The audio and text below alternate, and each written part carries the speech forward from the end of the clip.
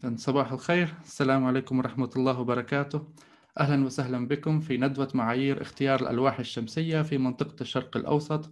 هذه الندوة برعاية شركة Jinko Solar ومقدمة إليكم من آه، منصة Solarabic في البداية أبدأ ببعض الأمور الإدارية. آه، يوجد لديكم آه، القدرة على إرسال رسائل تشات عبر عبر منصة Zoom أود لو سمحتم لو ترسلون آه، هنا إذا كنتم تسمعوني بشكل جيد كما أود أن أنبه إلى إمكانية مشاركة الأسئلة آه، عبر خاصية آه، الأسئلة والأجوبة Q&A تجدون هذا الخيار لديكم Q&A حيث يمكنكم كتابة صياغة سؤالكم ضمن الندوة وإرساله لنا وسوف نقوم بتخصيص وقت مناسب في نهاية الندوة للإجابة على أسئلتكم.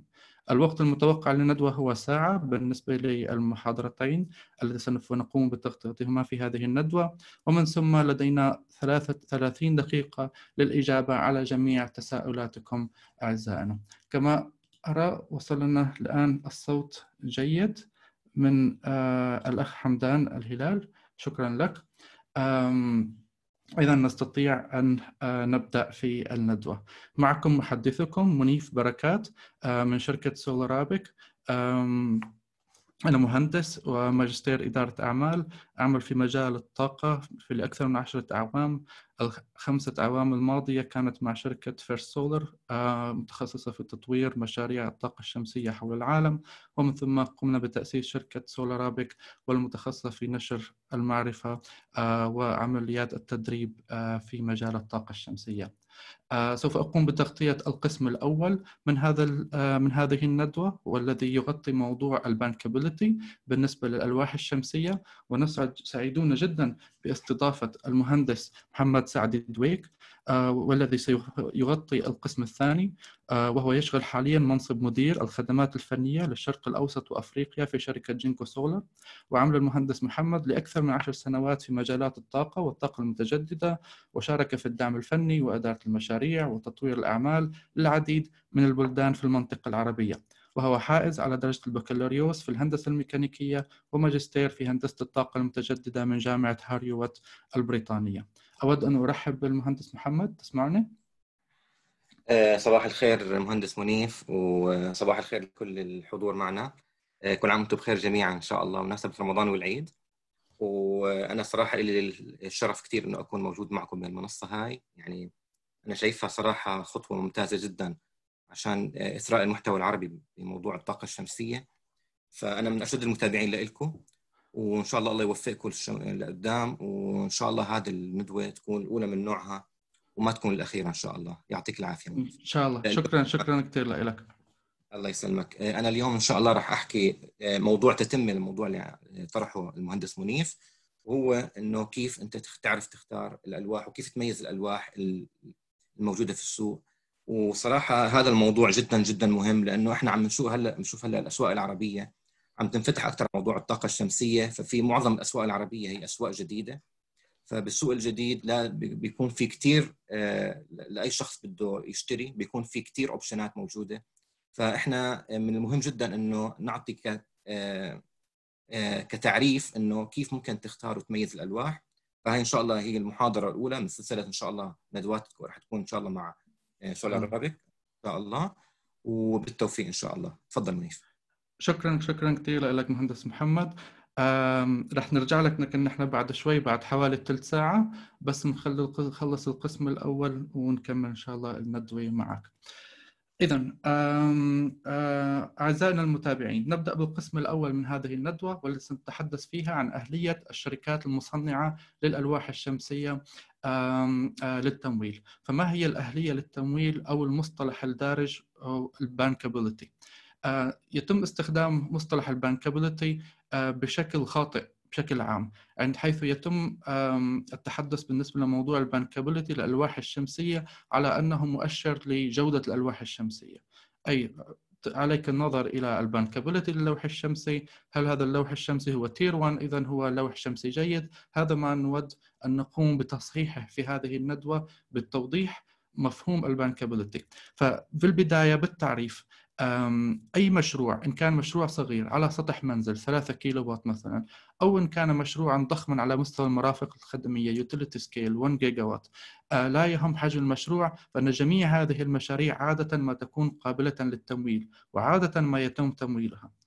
وبالنسبة للشركة المانحة للقروض آه، أو الشركات الشركات الممولة التي هي بنك أو محافظ استثمارية أو غيرها يجب أن يكون لديها ضمانات بأن هذه المحطة سوف تكون تكون على جودة معينة آه، تستطيع أن تفي بالوعود بالنسبة للإنتاجية آه، فيهمهم إذا أن يكون الأسيت نفسه المحطة أن تكون على جودة عالية وأن يكون الانت... تكون الإنتاجية ثابتة كما كان مخطط لها لأن هذا إنتاجية الكهرباء تضمن سلامة الكاش فلوز وهي المدفوعات للكهرباء بالنسبة لهذه المحطة وبالتالي تضمن الشركة الممولة أو البنك الممول يضمن الاسترداد مبلغ التمويل والربح الذي كان مخططا له. إذا موضوع ال bankability موضوع أساسي جدا بالنسبة للشركات الممولة وعلينا أن نفهمه أيضا نحن من أي موقع كنا في ال value chain بالنسبة لموضوع الطاقة المتجددة إن كنا نعمل في شركة مصنعة أو شركة EPC تقوم بالتركيب أو شركة مطورة كلنا يهمنا بأن نحصل على التمويل المناسب للمشروع من أجل من أجل ضمان مشاريعنا. اذا آه، قبل أن ندخل في التفاصيل أود أن أعرفكم آه، بكلمتين عن شركة سولارابيك. سولارابيك أسسنا شركة سولارابيك في برلين ألمانيا.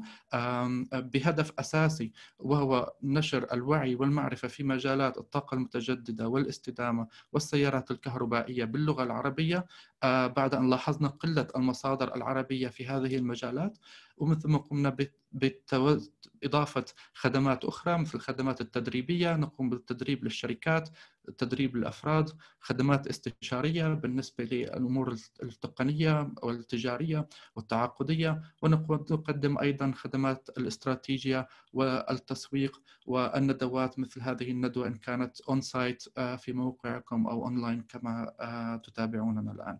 إذا هذا كلمتين عن الشركة آه، قبل أن ندخل في أجندة اليوم. إذا في الأجندة اليوم سوف نقوم بالتعرف على أهم أربع مؤشرات موجودة عندنا بالنسبة لموضوع البانكابيلتي آه، ومن ثم سوف نتحدث عن أهمية هذه المؤشرات آه، وهل بالفعل هذه المؤشرات كافية لاتخاذ القرار بالنسبة لشراء الألواح الشمسية ونختم هذا القسم ببعض النصائح العملية التي قد تعلمتها خلال السنين الماضية في مشاريع تخطط الألف ميجاوات على مدار الخمس سنين الماضية. نبدأ بالمؤشر الأول. عادة ما نسمع بالمصطلح سوبر موديل سوبر ليج اس ام اس ال أو قائمة الذي كانت التي كانت تدعى ب silicon module super league وتم تغيير اسمها في عام 2019 وتشمل مجموعة من الشركات.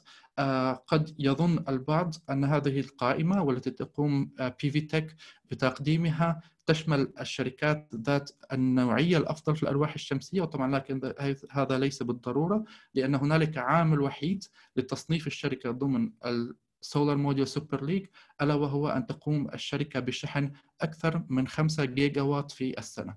إذا إذا أي شركة مصنع الألواح الشمسية تشحن آه، أكثر من 5 جيجا وات خارج مصانعها فإنها تحصل آه، مباشرة على هذا تدخل مباشرة في هذا التصنيف ال SMSL آه، وتستطيعون دائما رؤية هذا التصنيف في كل مكان وهو تصنيف معروف جدا من شركة PV Tech إذا معيار وحيد وأساسي من أجل دخول هذا التصنيف ألا وهو كمية الشحنات الآن يأتي المؤشر الثاني الذي نود التحدث عنه. طبعا سوف نتحدث بشكل سريع من أجل إعطائكم الفرصة لأسئلتكم في نهاية هذه الندوة. المؤشر الثاني وهو مؤشر ال tier 1 والمقدم من شركة بلومبرج New Energy Finance آه، على ما أظن هو المؤشر الدارج آه، في هذه السنتين الماضيتين. آه، الجميع يتحدث عن ال module tier 1 ولكن كما ترون هنالك هذه القائمة على يسار الشاشة. تبدأ بشركة جينكو سولار هذه قائمة آخر قائمة لدينا لل tier 1 module suppliers. عينة منها. نود أن نعرف الآن كيف يتم تصنيف الشركات على أنها tier 1 من قبل شركة بلومبرج ولمعرفة ذلك علينا اولا أن نفهم لماذا تقوم شركة بلومبرج بالتصنيف. فشركة بلومبرج والذراع الجديد لها وهو بلومبرج New Energy Finance يهتم بعمليات دراسة السوق. أي معرفة جميع المتغيرات في السوق وأداء الشركات وما هنالك ويتواصل مع شركة بلومبرج الكثير من المستثمرون والبنوك والذين يسألون دائما هذه الشركة ما هي أفضل شركات المصنع الالواح الشمسية حتى نقوم بقبول هذه الشركات في مشاريعنا وذلك لضمان استثماراتنا. وبالتالي كان هنالك طلب كبير على قائمة كهذه ال tier 1 لذلك عملت شركة بلومبرج New Energy Finance بالنظر إلى أكثر من 32 ألف مشروع في العالم مشاريع الطاقة الشمسية آه، وأتت بهذا التصنيف. وهذا التصنيف لا يدل أبدا على موضوع ال quality وهنا تجدون في هذا المربع آه، الصغير في الأسفل باللغة الإنجليزية do not use this list as a measure of quality. يعني هذا تصريح من شركة بلومبرج على أن لا نستخدم هذه القائمة على دليل للجودة. إذا إذا لم يكن دليلا للجودة فكيف تأتي شركة بلومبرج New Energy Finance وتقدم هذا النوع من التصنيفات؟ اولا تقوم الشركة بالنظر إلى شركات المصنع الألواح الشمسية ولتقوم بالتصنيع الفعلي للألواح الشمسية وباسمها. نعرف أنه هنالك مثلا شركات تقوم بشراء ألواح من شركات ثانية ومن ثم وضع label عليها لصاقة على أنها مصنعة من هذه الشركة. طبعا هذا الشيء غير مقبول. إذا الشركة عليها أن تصنع بشكل فعلي ألواحها باسمها وتقوم بتزويد هذه الألواح لستة مشاريع على الأقل على أن يكون حجم المشروع 1.5 ميجا وات على الأقل وتكون ممولة جميعها بتمويل بدون حق الرجوع من ستة بنوك تجارية مختلفة خلال السنتين الماضيتين. جملة طويلة قد لا تكون واضحة بالذات للمهندسين. ما هو التمويل بدون حق الرجوع أو الشيء الذي تسمعون به دائما non recourse finance. Non recourse finance طبعا تستطيعون التخيل عندما تقومون بالاقتراض بأن المقرض البنك أو المؤسسة المالية آه، آه، تتوقع بالحصول يجب أن يكون لديها ضمانات. قد تتوقعون بأن الشركة أو البنك تستطيع استرداد حقوقها في حال فشل المشروع من آه، أصولكم الشخصية أو من حساباتكم الشخصية أو من مشاريع الشركة الأخرى غير هذا المشروع الذي تم تمويله. أما في نوع ال non recourse financing آه، فإنه يتم التوافق تعاقديا على أن البنك أو المؤسسة المانحة أو الممولة تستطيع استرداد استثمارها أو تمويلها فقط من هذا المشروع الذي يتم تمويله. إذا الضامن الوحيد للبنك في هذه الحالة هو المشروع بحد ذاته. المشروع والذي يتألف من المحطة بحد ذاتها وهي الأسد والإنتاجية هذه المحطة من الكهرباء والتي تولد الكاش فلوز الدفعات والتي سوف تستخدم من أجل استرداد آه، الاقتراض الذي تم من البنك. إذا هنا الضامن هو ضامن وحيد بالنسبة للممول للبنك وبالتالي لدى البنك أو الجهة الممولة آه، اهتمام كبير بأن تكون هذه المحطة على درجة جودة عالية وأن تستطيع بالفعل أن تقدم أن تولد ال cash flows أي أن تستطيع أن تولد الكهرباء في البداية التي تم الاتفاق عليها حسب المخطط على الأوراق وبالتالي بيعها آه، حسب ما هو متفق عليه في ال PPA والاسترداد آه، القيمة الاستثمارية ومن ثم أرباحهم من هذا الاستثمار. إذا هنا مسؤولية كبيرة على البنك في قبول تمويل هذا النوع من المشاريع ب non-recourse finance لذلك تلجأ هذه البنوك والمؤسسات الاستثمارية إلى طلب قوائم مثل هذه القوائم من Bloomberg New Energy Finance لمعرفة ما هي الشركات التي قابلة التي هنالك risk أقل في تمويل المشاريع باستخدام ألواحها الشمسية. إذا هذا هو الشرط. الشرط أن تكون يكون هنالك تمويل للشركة. مثل مثلا شركة Jinko Solar آه، هي في قائمة ال Tier 1 يعني هي هذه الشركة لديها على الأقل ستة مشاريع كبيرة أكثر من 1.5 ميجا وات وتم تمويل كل مشروع من بنك مختلف آه، وذلك خلال آه، وذلك باستخدام non-recourse finance خلال السنتين الماضيتين. إذا ما يهمنا أن نعرف أيضا أن هذا التصنيف يتم إعادة النظر فيه كل ثلاثة أشهر وبالتالي هنالك أربع إصدارات في السنة لذلك ننصحكم دائما بمتابعة آخر المستجدات بالنسبة لل Tier 1 PV module suppliers هذا هو المؤشر الثاني والمؤشر آه الذي هو برأيي الشخصي الأهم حاليا بالنسبة لتصنيف آه الشركات آه المصنعة الألواح الشمسية. أما المؤشر الثالث وهو الذي يدعى بمؤشر Altman Z-score. قبل أن أكمل أود أن أنوهكم بأنكم تستطيعون البدء في الأسئلة في ال Q&A في ال section Q&A section حتى نستطيع الإجابة عليها لاحقا. لا تترددوا في إرسال أسئلتكم. إذا نكمل في المؤشر الثالث الذي هو مؤشر Altman Z-score آه، وهو من أقدم المؤشرات العالمية آه، والذي آه، تم من من ثمانينات القرن الماضي تم تطويره من أجل التنبؤ بإفلاس الشركات بذلك بحوالي سنتين قبل حدوثه. وهو عبارة عن معادلة كبيرة جدا سوف أقوم ب إظهار بعض أهم معاملات هذه المعادلة. آه، بعد قليل آه، ما علينا أن نعرفه بأن الناتج النهائي لهذه المعادلة هو عبارة عن رقم. آه، قد يبدو ذلك كالسحر قليلا حيث يكون هذا الرقم حوالي الثلاثة.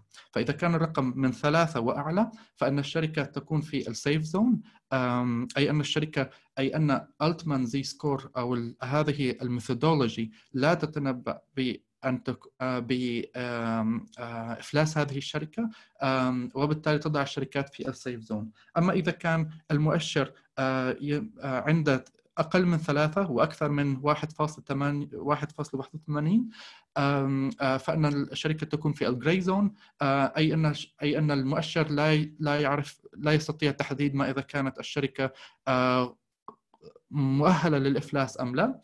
أما إذا كانت أقل من 1.8 أو أقل فهي في ال distress zone وهنا يكون الشركة المؤشر يتنبأ بأن الشركة قد تفلس في السنتين القادمتين. طبعا هذا المؤشر هو مؤشر عام جدا وليس خاص بال آه، صناعة الطاقة الشمسية. آه، لذلك آه، علينا أن التعامل معه بحذر. هنالك عدة شركات تقوم باستصداره مثل شركة Sinovoltaics التي رأيتموها بلومبرج أيضا. بالإضافة للمؤشر الأخير من PV Tech والذي سنتحدث عنه بعد قليل. يتم حساب الالتمان زي سكور وذلك بقياس السيوله في الشركة مقارنة بالأصول.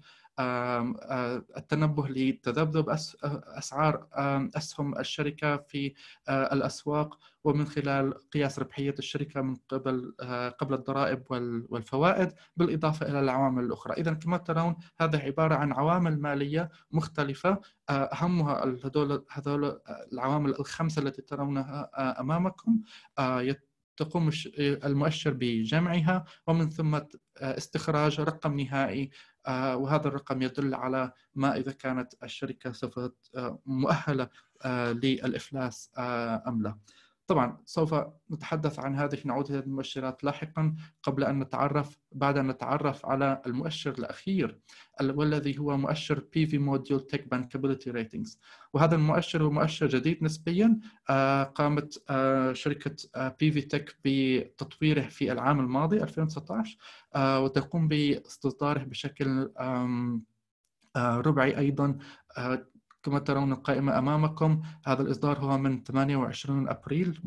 إذا إصدار جديد آه، بالنسبة لل bankability ratings آه، حيث يتم تقسيم الشركات على عدة مستويات.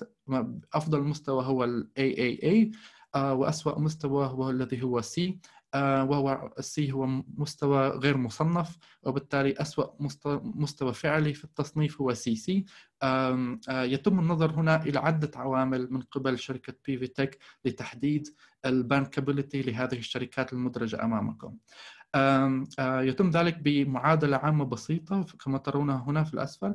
ال B ترمز إلى ال bankability وهي تساوي عدة ثوابت آه، يتم ضربها بال M وال F ال M بشكل عام يدل على ال manufacturing أي التصنيع وهنا هنالك أي أن الشركة تقوم بحساب مؤشر للتصنيع وال F هو يدل على ال financial وهي عبارة عن الصحة المالية للشركة والتي تقوم بدراستها لتحديد هذا المؤشر. ما يهمنا أن نعرف بأن هذا المؤشر هو جديد نسبيا طبعا مؤشر هام لأنه أول مؤشر يحاول دمج ما بين ال M وال F أي هذا يعني الدمج ما بين ال manufacturing والتصنيع من جهة وموضوع الصحة المالية للشركة من جهة أخرى. طبعا هذا الموضوع قد يتساءل البعض لربما من الواضح ما هي الصحة المالية وكيف يتم حسابها وذلك من خلال تقارير الشركة ومبيعاتها وربحيتها وما إلى هنالك. إذا ولكن كيف يتم تقييم ال manufacturing هذا القسم التالي. آه، بشكل عام ال methodology هي عبارة عن الطريقة هي طريقة طويلة معقدة مشروحة من قبل PVTech بشكل مفصل ولكن أود أن أنبه إلى ثلاثة عوامل رئيسية هنا لل manufacturing العامل الأول الذي هو ال supply أو ال shipment وهي كمية الألواح الشمسية التي يتم شحنها مثلا شركة جينكو سولر معنا على الخط يستطيع تصحيحي لاحقا مهندس محمد كانت قد شحنت السنة الماضية 16 gigawatt من الألواح الشمسية في عام واحد. وبالتالي هذه هذا رقم عالي جدا بالنسبة للشحنات بالنسبة لشركة واحدة في مجال الطاقة الشمسية. وبالتالي يؤخذ هذا العامل في عين الاعتبار ويقوي موقع الشركة في الترتيب. الموضوع الثاني وهو موضوع الكباسيتي أو السعة أي القدرة الإنتاجية للشركة في العام. أي كم تستطيع الشركة أن تنتج من الألواح الشمسية في العام الواحد؟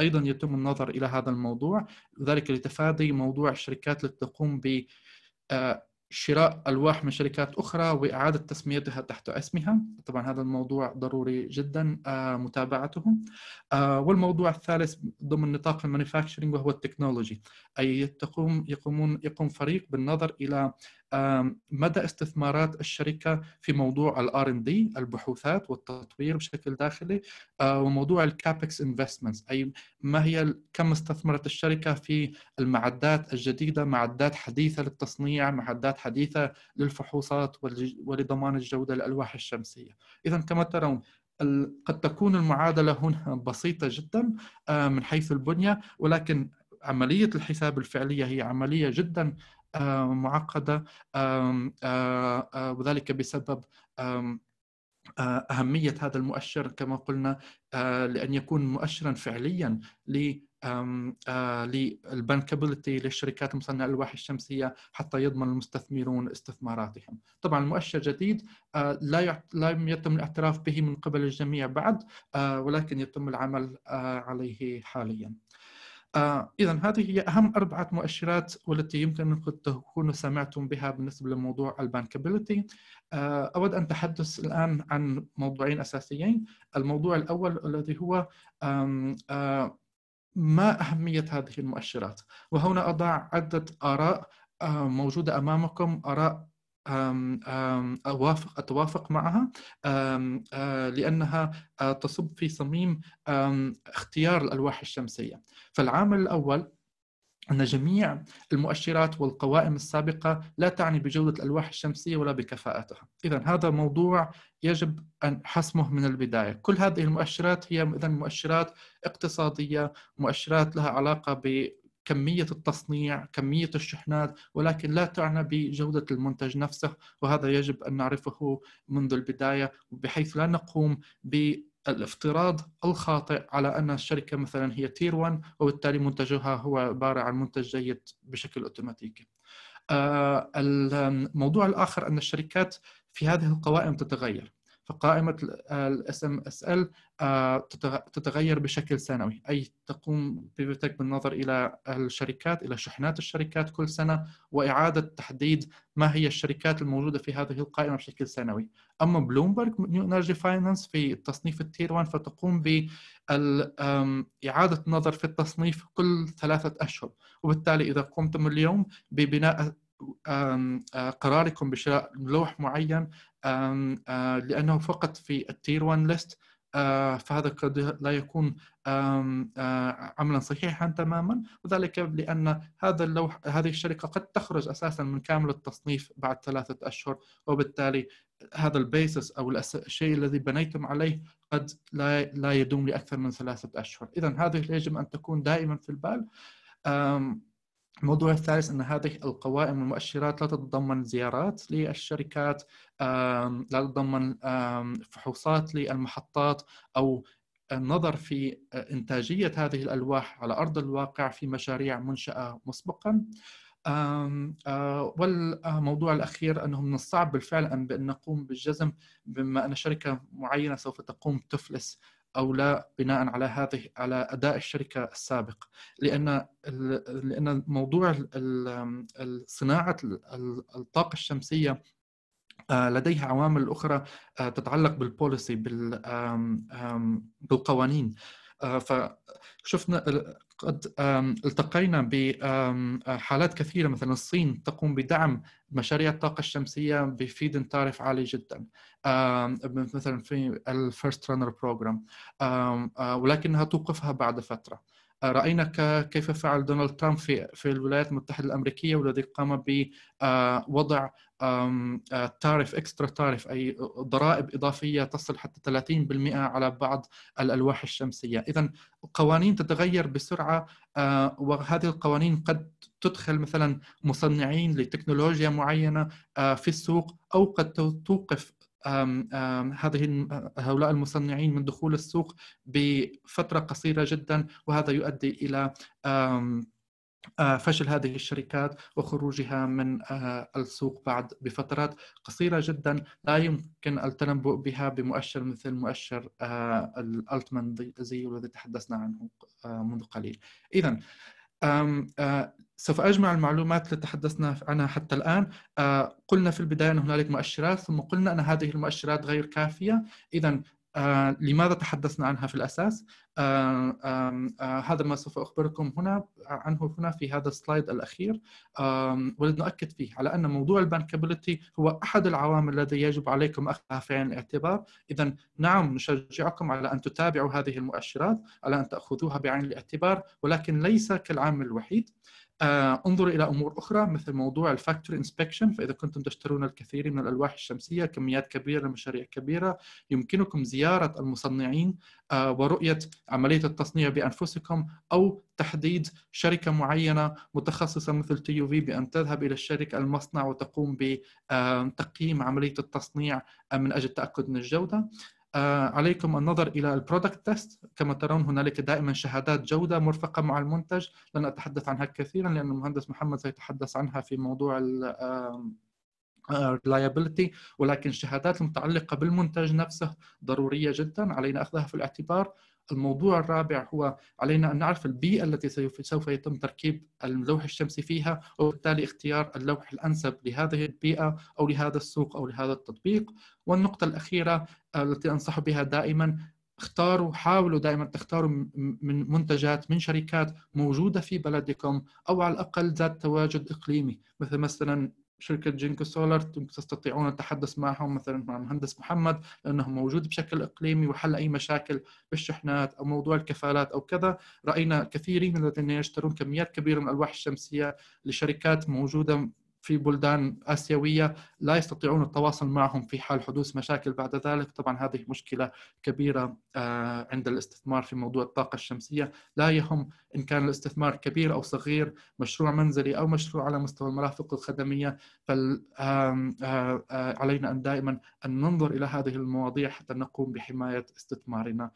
في مجال الطاقة الشمسية أتمنى أن نكون قد غطينا موضوع البانكابيلتي بشكل لا بأس به وانتظروا أسئلتكم في الكيو ان اي وسوف أعود إليكم بعد أن ينضم إلينا المهندس محمد والذي سوف يقوم بتغطية القسم الثاني من هذه الندوة وسوف نجيب معا على أسئلتكم أعزائنا المتابعين.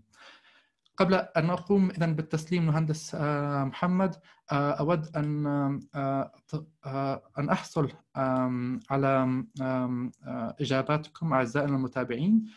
فلو سمحتم سوف تحصلون الآن على سؤال يظهر على شاشتكم.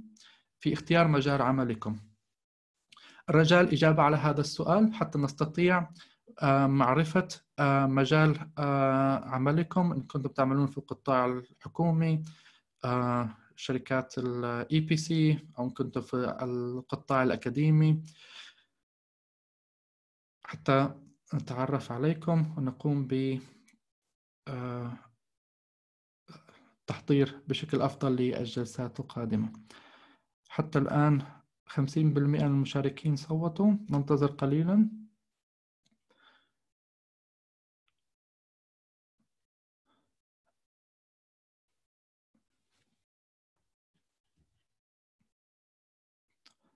إذا نسبة التصويت أكثر من 70% سوف نوقف التصويت الآن.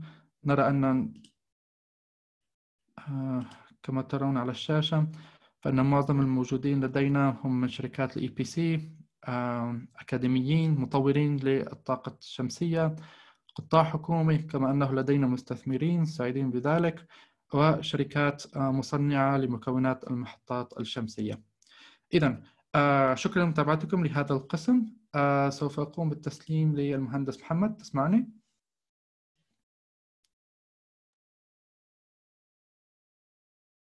لربما الصوت عندك آه على ميوت على ميوت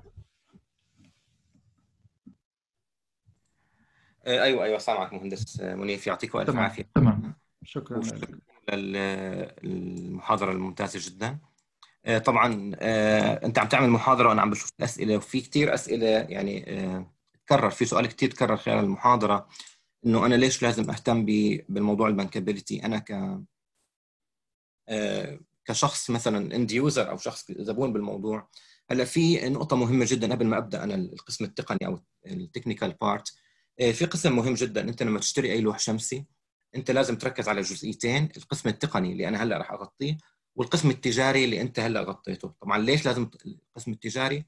هلأ إحنا عايشين صراحة بالمجال الطاقة الشمسية مجال آه، متحول كثير مجال آه، متغير كثير.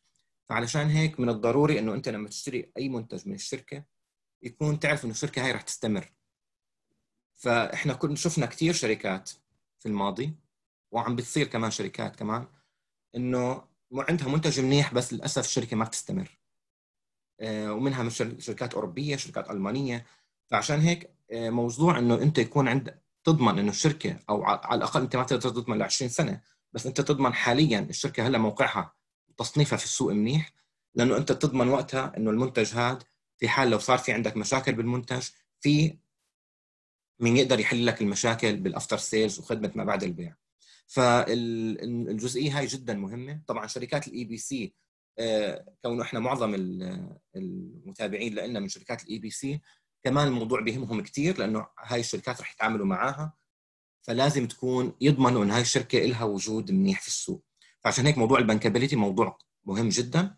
وهو آه، يعني بالضبط أنت لما تشتري منتج تشتري البنكابيلتي أو تشتري آه، وضع الشركة في السوق. مثل ما موضوع السيارات مثلا أنت لما تروح تشتري سيارة تويوتا أو تشتري سيارة بي إم أنت ضامن إنه السيارة هاي راح تكون موجودة الشركة ما راح تكون موجودة خلال فترة آه، استخدامك للسيارة.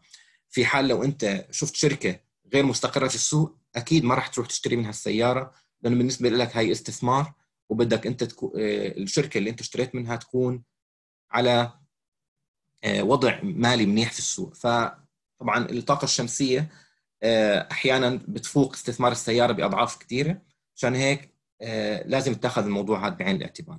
هلا أنا آه، مثل ما قلت هو آه، محاضرتي اليوم هي تتمة للي قاله المهندس منيف إنه شو كيف نعرف إنه الألواح الشمسية هاي هي ألواح منيحة؟ فالقسم التجاري اللي غطاه منيف وهذا القسم التقني. طبعا أنا بسبب ضيق الوقت ما راح أقدر أغطي كثير أشياء ولكن على قد ما بقدر يعني خلال إحنا يعني فترة شغلنا والمعارض والزيارات الزبائن فبنشوف شو أكثر أسئلة عادة آه، بتنسأل وأكثر شيء يعني بيتاخذ بعين الاعتبار لما آه، العالم بيسألونا إنه شو أهم شيء فراح نحاول يعني نفوت بشوية تفصيل ببعض النقاط وإن شاء الله مثل ما قلنا هاي بداية إن شاء الله حيكون في لقدام آه، مواضيع إن شاء الله متنوعة أكثر وكمان إذا في أي استفسار إيميلي كمان موجود. ف بيسعدني إنه أتواصل معكم هلأ بس بشكل سريع نحكي عن جينكو سولار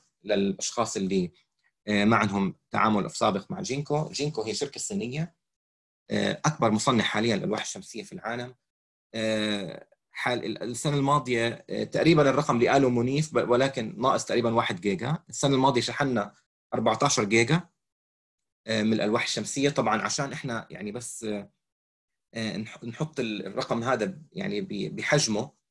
أنا مثلا بلد مثل الأردن بلدي مثل الأردن ال total حجم الكهرباء بشكل كامل من 4 ل 5 جيجا. فإحنا تقريبا بسنة واحدة شحنا ثلاث أضعاف احتياجات الأردن للطاقة. فبالتالي هو رقم كبير جدا. إن شاء الله السنة هاي إحنا عم نسعى إنه نكون نوصل 20 جيجا. إحنا أربع سنين على التوالي من عام 2016 لحد 2000 2016 17 18 و19 ضلينا إحنا رقم واحد والسنة الماضية كان عندنا نمو بمقدار تقريبا 25% وإن شاء الله بدنا نتابع هذا النمو. فإحنا ال market share الحصة السوقية تقريبا 13% والحمد لله بسبب جهد الزبائن والطاقم العمل الموجود عندنا أكثر من 3500 زبون في 140 دولة. وبالنسبة لمنطقة الشرق الأوسط وأفريقيا اللي أنا مسؤول عنها من الجانب التقني في عندنا أكثر من 20 شخص موجود على الأرض ويدار الإقليم عندنا مكتب إقليمي موجود في دبي بس إحنا كل اطراف يعني كل طاقم العمل موجود على الأرض إحنا عندنا موجود شباب موجودين في الأردن في مصر في الإمارات في السعودية في تونس في المغرب في كينيا في جنوب أفريقيا في نيجيريا يعني عندنا مكاتب وعندنا وجود الحمد لله يغطي الإقليم كاملا. حاليا إحنا عندنا ثلاث أنواع أو ثلاث منتجات رئيسية. هي ال Cheetah ال Swan وال Tiger اللي هي بالعربي الفهد والبجعة والنمر. طبعا إحنا بنحب نطلق أسماء الحيوانات على منتجاتنا عشان نميزها عن باقي المنتجات. ال Cheetah هو المنتج الرئيسي عندنا. تم إصداره يعني طرحه في السوق عام 2018 وهو المنتج العادي اللوح العادي اللي بيكون عبارة عن 60 أو 72 خلية وبيولد كهرباء من من الوجه الأمامي. حاليا عندنا أكثر من 10 جيجا مبيعات في هذا المنتج. وممكن تشتريه كخلية كاملة أو كنص خلية. ممكن إن شاء الله بعدين نشرح شوي كمعلومات تقنية إيش يعني الخلية الكاملة أو نصف الخلية. الاسوان البجعة وهو بيولد كهرباء من الطرفين. طبعا هاي أحد المنتجات التكنولوجيز اللي فاتت بقوة السنة الماضية وهلأ عم تاخذ يعني زخم أكثر وعم نشوف هلأ إحنا كثير مشاريع كبيرة. يعني إحنا عم نشوف المشاريع الموجودة خاصة في الخليج في السعودية في الإمارات في عم عم نشوف كثير مشاريع عم تعتبر تقنية توليد الكهرباء من الوجهين كتقنية بتقدم كثير حلول استثمارية ممتازة. والمنتج الجديد اللي نزلناه بشهر واحد هو ال Tiger وهو منتج أضفنا له تقنيات مثل تقنية ال tiling ribbon مثلا وأضفنا له تقنيات ثانية طبعا راح نحاول نغطي شوية أشياء اليوم بس يعني يمكن ما يكون في وقت لأنه إحنا ما بدنا كثير نحيد عن موضوع المحاضرة اليوم. فإذا أي شخص عنده أي استفسار عن عن منتجات جينكو عن كيف طريق الوصول كيف تواصل مع جينكو. إيميلي رح يكون موجود رح نشاركه معاكم فبيسعدني إنه إن شاء الله نشتغل مع بعض. هلأ أه حنفوت هلأ موضوع ال presentation أنا عادة لما يكون عندي مشروع فلازم أختار أفضل منتج لهذا المشروع. طبعا هذا من الناحيه النظرية. فأنا في عندي معيارين بيحددوا اختيار المنتج. أول شيء الأداء. طبعا المنتج هو اللوح الشمسي. أول شيء هو الأداء. بدك قيم الفولت الأمبير معامل الحرارة الكفاءة. وهي كلها تحصل عليها من نشرة البيانات من ال data sheet رح نحكي عنها. يعني حنحكي عن أهم الأشياء الموجودة. في الشيء الثاني اللي هاي مش موجودة بال data sheet هاي مو موجودة. آه ما يعني ما بتقدر تقرأها. ولكن من المهم جدا وما بتقل أهمية عن الأشياء اللي بتستعملها أو تاخذها من ال data sheet اللي هي موضوع الموثوقية أو ال reliability ورح نحكي عنها هي هاي لها علاقة بجودة المكونات الموجودة داخلة في تصنيع اللوح الشمسي. وهي رح نحكي عنها. ولكن طبعا الجزئين مهمين. الاداء أنت بتستعمله عشان تحسب حجم المحطة تحسب قديش إنتاج الطاقة رح يكون خلال فترة عملها بس الموضوع الموثوقية اللي هي أنت كيف رح تضمن إنه المحطة هاي أو المنتج هذا رح يعيش معك مثلا 25 سنة مثل ما جينكو آه، بتعرض. ف لأنه أنا شفت أسئلة يعني هلأ سبحان الله أسئلة عم تنسأل بنفس الموضوع هذا. فعشان هيك الموضوعين مهمين رح نغطي الموضوعين ونركز أكثر على موضوع ال reliability لأنه الموضوع هذا مش واضح لكثير آه، من الناس. طبعا أول شيء تطلع عليه لما يكون عندك ال data sheet لوح البيانات هو الكفاءة كفاءة اللوح ال efficiency. قديش كفاءة اللوح؟ فهي كمعادلة بسيطة هي ال power تبعت اللوح أو القدره بتقسمها على آه، مساحة اللوح والاشعاع بالإشعاع الشمسي. فمثلا إذا عندك لوحين 400 واط بس أبعاد مختلفة فأكيد اللوح الأصغر هو اللي حيكون كفاءته أحسن. يعني إذا اللوح بيعطيك 400 واط بمساحة أصغر من لوح ثاني بيعطيك 400 واط بمساحة أكبر أكيد الكفاءة راح تكون للوح الأصغر. وهي مثلا مثال صغير آه، لوحين اللي هو الشيتا واحد الشيتا والثاني هو لوح من السوق موجود. فبتلاقي الاثنين 400 واط بس هذا ما يعني إنه الاثنين عندهم نفس الكفاءة. لا لو تيجي بتحسب المساحة حتلاقي مساحة آه، Cheetah أصغر بمقدار بسيط من مساحة اللوح الثاني. بس هذا المقدار لما حو... لما طبقناه في المعادلة لقينا إنه ال efficiency تقريبا أكثر بنص بالمية. طبعا رقم ال efficiency نص بالمية زيادة. زيادة هو رقم كبير. يعني آه، إحنا هلأ كل التكنولوجيات اللي عم نعملها والأشياء الجديدة عشان نزيد مثلا شيء بيزيد 1% شيء بيزيد نص بالمية. فيعني كثير عم بيكون عمليات بحث هائلة جدا عشان زيادة نص في المية مثلا. فموضوع إنه يكون في فرق نص بالمية هو فرق معتبر. آه، فالمساحة فهي كفاءته له علاقة بالقدرة وبالمساحة. وطبعا إحنا هلأ عم نشوف الألواح الجديدة هلأ اللي اللي عم بيتابع الأخبار. هلأ إحنا فتنا يعني جينكو وغيرها أعلنوا عن ألواح 500 و520 و530 واط.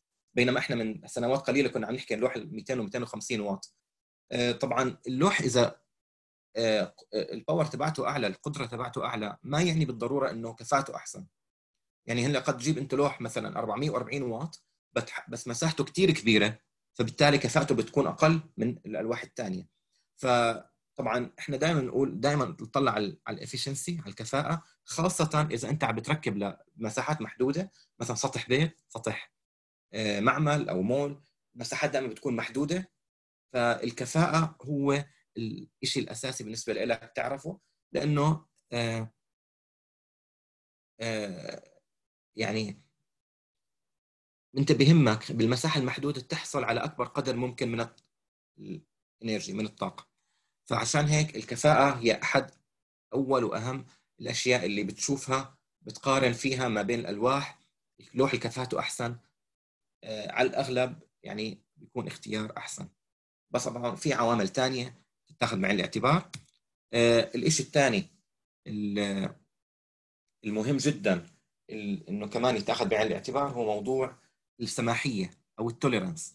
هلأ اللي كان موجود آه، من من زمان بموضوع الطاقة الشمسية بيعرف إنه أنت لما تروح عند مثلا آه، عند مصنع الواح الشمسية وتقول له مثلا أعطيني لوح 200 واط فأنت ما كنت تاخذ لوح 200 كنت تاخذ لوح 200 زائد أو ناقص 5 واط. لأنه طبعا آه، من المستحيل إنه أنت يعني إحنا كشركة مصنعة من المستحيل إنه يكون عندنا لوح بالضبط 200 يعني لأنه يعني خلال عملية الإنتاج ما بتقدر تتحكم بالضبط بموضوع الباور ف فعشان هيك ما بتحصل على لوح بالضبط مطابق للنشره آه، الموجودة اللي هي ال 200 واط. بس من قبل كان السائد بالسوق إنك أنت تاخذ لوح مثلا زائد ناقص 5 واط. طبعا هلأ هذا شيء مرفوض.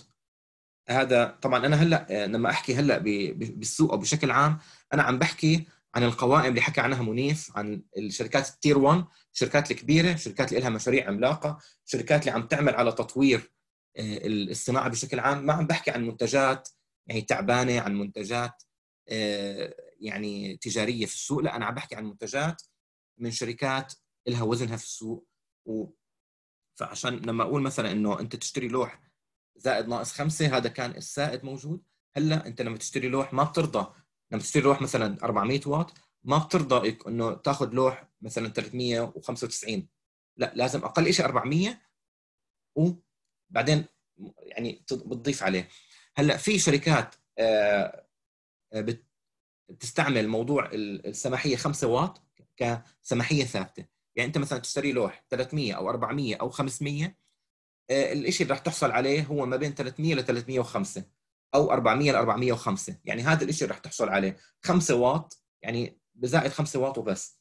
في شركات ثانية منها جينكو بتعطيك نسبة مئوية اللي هي 3% فأنت كل ما اشتريت لوح أكبر كل ما زاد معك مجال التسامح. يعني أنت مثلا أنا حاطط آه، بالجدول تحت إذا اشتريت لوح 300 واط آه، ممكن تحصل على بالشركات الكثير تحصل على لحد 305 ولكن آه، مع جينكو ممكن تحصل لحد 309 طبعا مو بس جينكو بس أنا جينكو هي أهم الشركات اللي عم تعطي النسبة هاي وهي شركات قليلة يعني في السوق.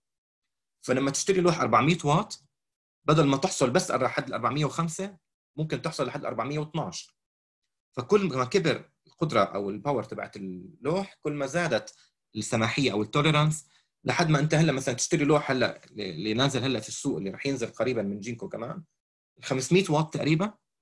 بدل ما تاخذ خمس لحد ال 505 ممكن تاخذ لحد ال 515 فعمليا عم يعني عم تاخذ ثلاث أضعاف السماحية.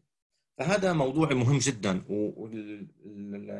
والمهندسين اللي شغالين على موضوع التصميم آه، هذا الرقم يعني بيتاخذ بعين الاعتبار خلال التصميم. يعني هو مو بس رقم يعني آه، إنه كرقم من جينكو مثلا تعطي هيك وخلص لا هو هذا رقم عمليات التصميم وال simulation هذا رقم بيتاخذ بعين الاعتبار. والشركة اللي عم تعطيك سماحية أكثر هي اللي رح تعطيك نتيجة أحسن في آه، في عمليات التصميم. فحكينا أول نقطة الكفاءة ثاني نقطة السماحية الإيجابية للقدرة. النقطة الثالثة هي الضمان. طبعا مثل ما قلت أنا عم بحكي عن الشركات الكبيرة الشركات العملاقة الشركات اللي آه تير 1 يعني اللي بيهمها كثير موضوع جودة المنتج. في نوعين من الضمان موجودين في السوق لكل منتج. يعني في كل منتج بينزل له نوعين من الضمان. شيء اسمه ضمان المنتج وشيء اسمه ضمان الأداء. ضمان المنتج هو مثل أي ضمان أنت بتشتري تشتري موبايل تشتري سيارة عليها ضمان. سنة سنتين ثلاثة خمسة. هو في ضمان المنتج. هلأ إنه خلال فترة الضمان أي شيء بيصير بالمنتج إذا كان مثلا صار يظهر صدى على الإطار صار في تشقق بالزجاج أو صار في انخفاض في الأداء. فهذا كله ضمن الضمان. إذا كان طبعا سببه أكيد إذا سببه هو نتيجة الجودة مش إنه سببه نتيجة أخطاء خلال عملية آه، التشغيل. فهذا آه، عادة موجود في السوق هو ما بين 10 ل 25 سنة. هلا جينكو حاليا ال standard عند جينكو هو 12 سنة. يعني أنت عم تشتري منتج إحنا بنضمن لك إياه 12 سنة. وطبعا ممكن يعني آه، ممكن نضيفه. طبعا الشركات اللي اللي بتزيد فوق 12 سنة يعني هذا بينعكس على السعر. يعني انت كل ما بدك ضمان أكثر بدك 15 بدك 20 أو 25 سنة بدك تدفع أكثر علشان تحصل على الضمان هذا. موجود عند جينكو بس إحنا ك standard أقل شيء إحنا موجود عندنا هو 12 سنة. وفي شيء اسمه ضمان الأداء. وهذا آه، الضمان مهم جدا كمان. له علاقة بأداء اللوح. يعني أنت على فرض اللوح بعد 20 سنة قل اداؤه عن المنحنى البياني اللي أنا الموجود تحت. فالمفروض مثلا بعد 20 سنة يعطيك مثلا 83% أداء. إذا أعطاك 75% أداء فبالتالي هو ضمن الضمان وجينكو بتعمل على تبديله أو آه، يعني آه، تعويضك آه، بالأشكال المتفق عليها. فحاليا هذا ما له علاقة بضمان المنتج هذا ضمان ممدد ضمان الأداء. يعني إذا المنتج مثلا صار في صدى بعد 20 سنة فما بيكون داخل بضمان المنتج بس إذا إن قل الأداء بعد 20 سنة بيكون هو داخل في ضمان الأداء. فضمان الأداء حاليا ال standard في السوق هو 25 سنة للألواح العادية و30 سنة للألواح ثنائية الوجه أو ال bifacial هلأ كيف ممكن تميز؟ هلأ ما دام هو هذا standard يعني ضمان أداء وضمان منتج هو standard في السوق أول شيء بتشوف مين بيعطيك ضمان أحسن بالنسبة للمنتج 10 أو 12 سنة في فرق. الشيء الثاني هو الضمان الأداء له علاقة بالتراجع أو ال آه، أو الديجريديشن إنه المنتج كل ما مثل أي منتج في في العالم موجود آه، بعد ما تستهلكه فترة بقل أداؤه. طبعا هذا المنتج قد يكون سيارة أو موبايل أو أي شيء فأكيد اللوح الشمسي مع الزمن بقل أداؤه. بس الشيء المهم جدا والمميز جدا بالألواح الشمسية إنه إحنا بنقول لك قديش رح يقل اداؤه آه، بعد كذا سنة. طبعا هذا الشيء مش موجود بكثير صناعات.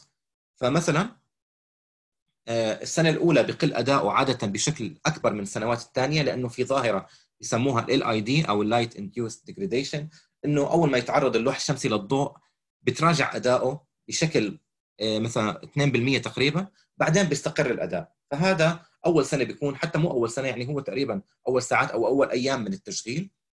ففي مثلا هلأ شركات تعطيك آه، الضمان أو الديجريديشن كل ما كان أقل أكيد كل ما كان أحسن.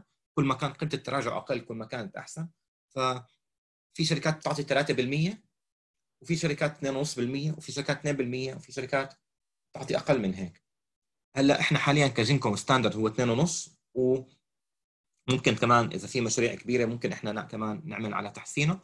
طبعا في فرق ما بين الألواح ال P-type وال N-type هذا شيء ممكن نحكي فيه بعدين. أنا قريت مقالات كثير كثير مفيدة صراحة على موضع على موقع سولار ارابيك فأنا بتمنى إنه كمان تطلعوا عليها. آه، ألواح ال N-type هي اداء أحسن من ألواح ال P-type بس هي اغلى بكثير والضمان تبعها بيكون عادة أحسن من ال P-type طبعا هي جينكو موجود عندها ال N-type وال P-type بس السوق حاليا 90% هو P-type بعدين في عندنا التراجع السنوي degradation ال annual degradation طبعا هذا بيتفاوت ما بين 3 بالعشرة ل 8 بالعشرة. كل ما كان الرقم أقل كل ما كان أحسن. فهون كمان ممكن تتميز ما بين المنتجين إنه قديش قيمه قديش تراجع الأداء السنة الأولى والسنوات التالية. وممكن تقارن ما بين الالواح الشمسية يعني أحد المعايير ممكن تقارن فيها الالواح الشمسية. فالمؤشر الرابع هو اللي مهم جدا جدا منطقتنا العربية هو معامل الحراره من المهم جدا إنه يتخذ بعين الاعتبار. إحنا المنطقة العربية هي منطقة حارة. الصيف عندنا كثير حار. آه، نحن عم نحكي مثلا منطقة الخليج العربي. ما في عمليا ما في ما في فصل اسمه شتاء. آه، في صيف وفي صيف أقل حرارة. يعني إحنا هذا الموجود. لأنه بالصيف الحرارة بتكون تقريبا 25 عفوا بالشتاء بتكون حرارة 25 بالخليج وبالصيف بتوصل 45 وأكثر فبالتالي موضوع الحرارة تأثيرها موضوع مهم جدا جدا. طبعا خلافا للاعتقاد السائد إنه آه، اللوح لما تكون الحراره الجو حار بيكون أحسن لي. لا أكيد لما يكون الجو حار بقل أداء اللوح. لأنه السيليكون بيتأثر مادة السيليكون المصنوع منها اللوح بيتاثر سلبا بالحرارة. فعشان هيك موضوع معامل الحرارة جدا جدا مهم. كل ما زاد ارتفعت الحرارة كل ما أقل أداء اللوح بشكل كبير. وهلا التقنيات الموجودة في السوق مثل البيرك والنصف الخلية بتقلل من حرارة اللوح فبالتالي الأداء بيكون أحسن؟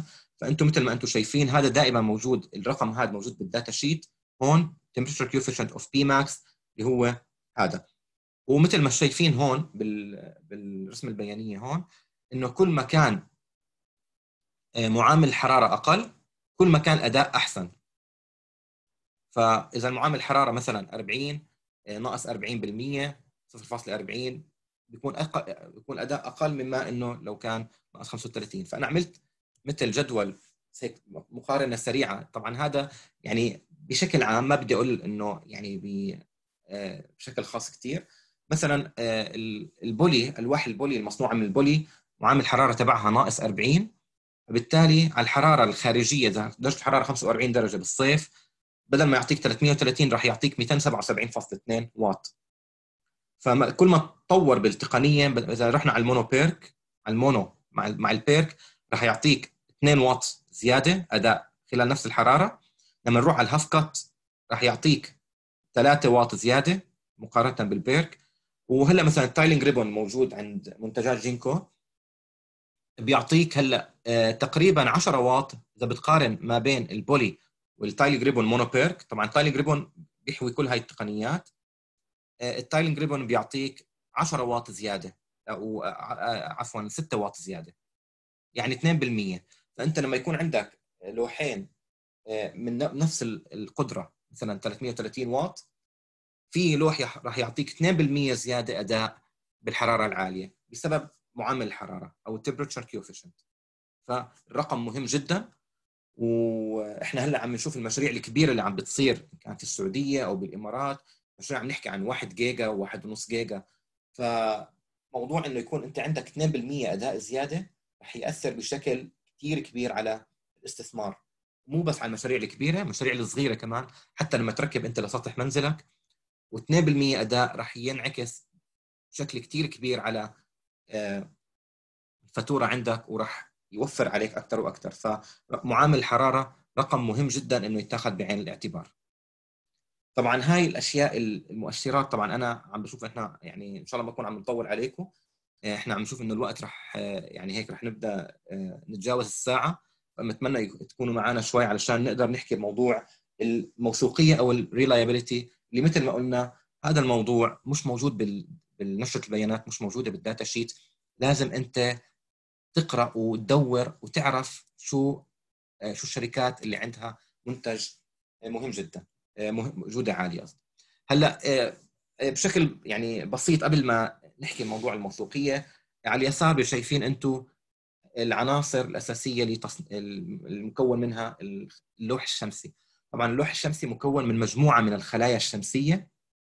مصفوفة على آه، يعني موصلة على التوازي التسلسل أو التوازي عشان نحصل على قيمة من الفولت والأمبير. الخلية الشمسية محاطة بطبقتين تغليف.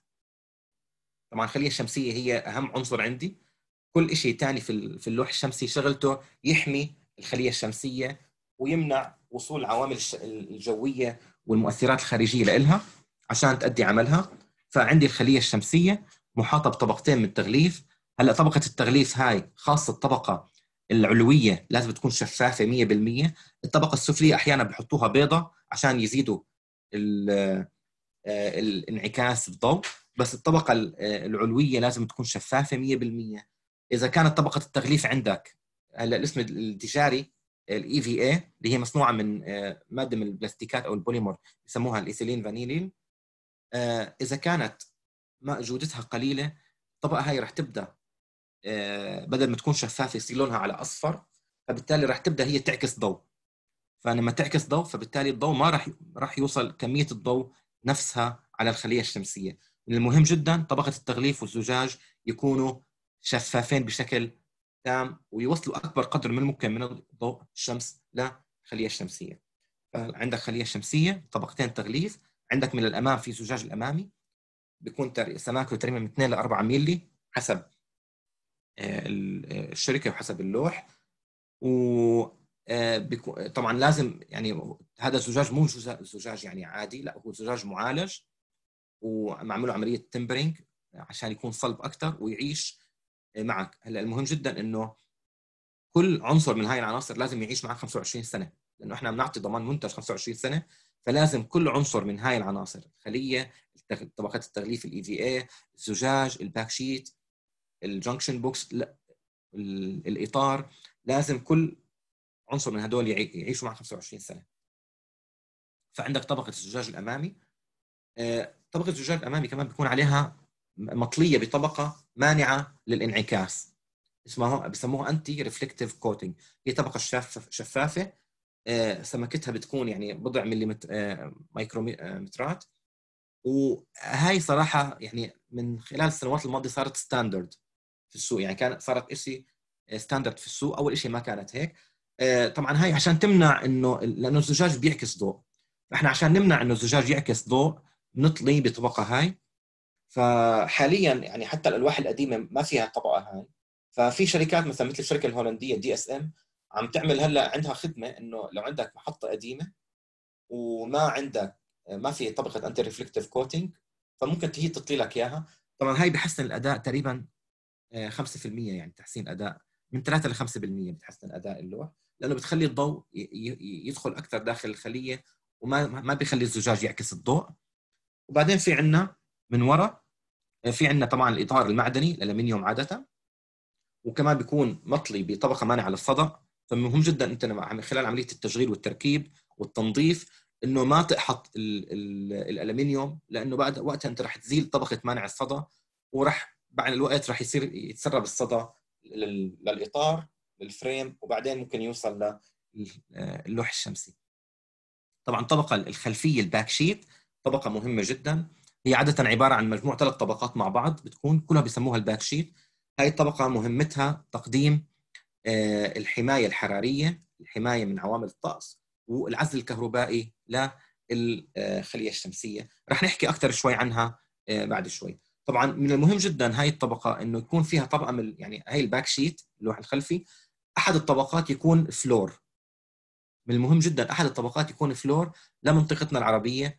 ورح نحكي يعني شوي أكثر عن الموضوع هذا. الفلور هو مادة آه، بتقاوم الأشعة فوق البنفسجية.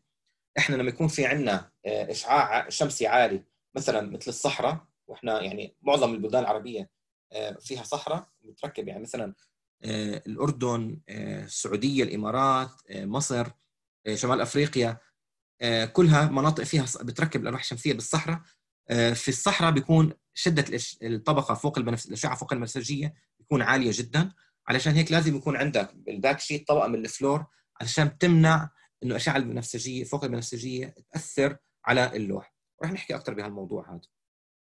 فهي بشكل مختصر مكونات اللوح الشمسي. رح نرجع لموضوع الموثوقية أو الريلايبيليتي هلأ آه، طبعا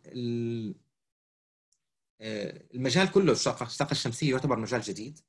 يعني مجال عم بيتطور مجال عم تنحط فيه معايير وبعدين بيتم تحديثها وبيتم تطوير المعايير هاي.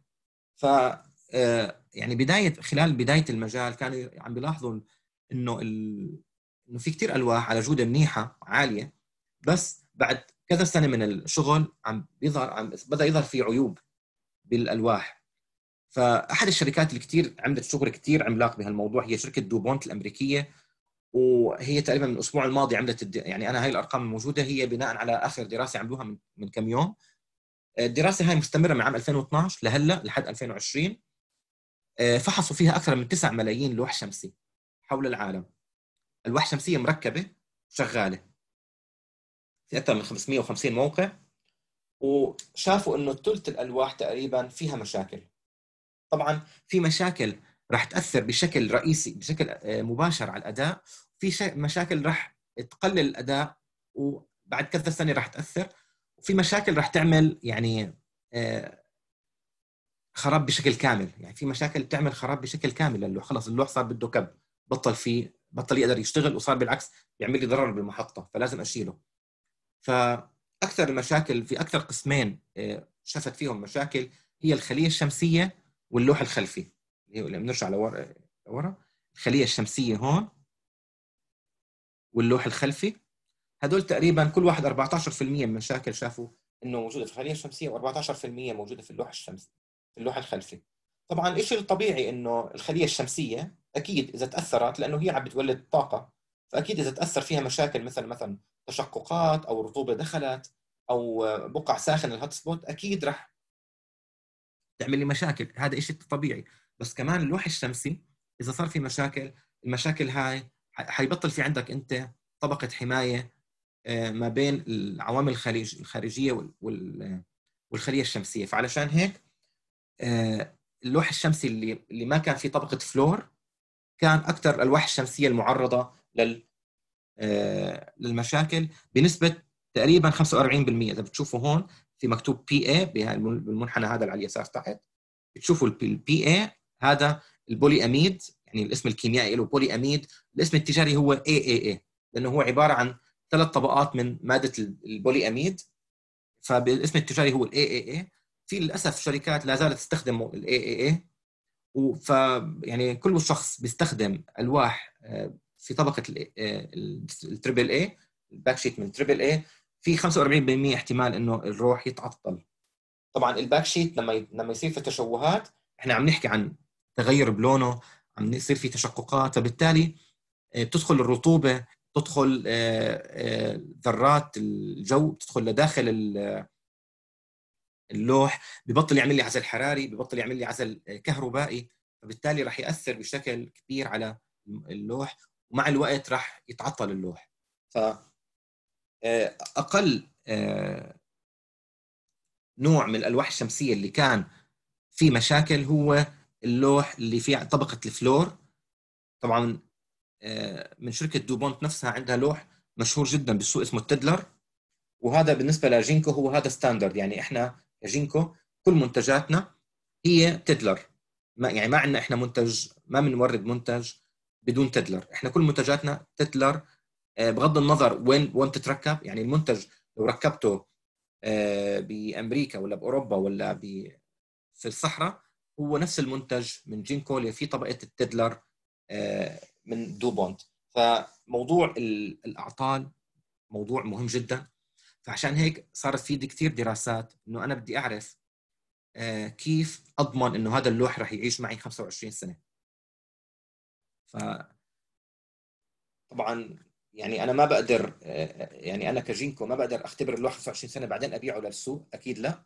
ففي ظهرت موضوع ال reliability أو الموثوقيه بشكل آه، قوي خلال السنوات الماضية. أنا طبعا أنا إن شاء الله ما راح أتأخر عليكم يعني أنا خلال دقائق إن شاء الله راح أخلص عشان بعدين نبدأ بال Q and A فموضوع آه، الموثوقية وال reliability ظهرت بشكل يعني بشكل كبير صار لها أهمية بالسنوات القليلة الماضية. عشان إنه أنت لما تركب لوح لازم تعرف إنه اللوح راح يعيش معك 25 سنة. هلأ الألواح عادة في السوق في معها شهادة بسموها الاي اي سي شهادة الاي اي سي هي يعني شهادة ضرورية ولكن ما بتعبر إنه يعني ما بتضمن لك إنه هذا اللوح راح يعيش معك 25 سنة لأنه هي الاختبارات الموجودة ضمن ال IEC تعتبر اختبارات آه، بدائية basic لازم ينعمل اختبارات الأكثر عشان تضمن إنه اللوح راح يعيش معك. ففي شركات في مراكز أبحاث ومخابر آه، طوروا آه، مجموعة من الاختبارات علشان ضمان أداء المنتج. أحد مثلا أهم الشركات وأهم المختبرات اللي عندها تشتغل على الشغل مختبر أمريكي اسمه بي في اي ال هلأ هذا المختبر طور آه، سلسلة من الاختبارات آه، بناء على دراسة عملها وشاف إنه خلال 25 سنة شو العوامل الطقس وشو المتغيرات اللي راح تصيب اللوح الشمسي. فراح درس كل هذا من تغير الحرارة والرطوبة وال والمطر والثلج والبرد والرياح وكل هدول درسهم وعمل محاكاة عمل simulation محاكاة في المختبر بمجموعة اختبارات. راح نحكي عنها بشكل بسيط جدا هلأ.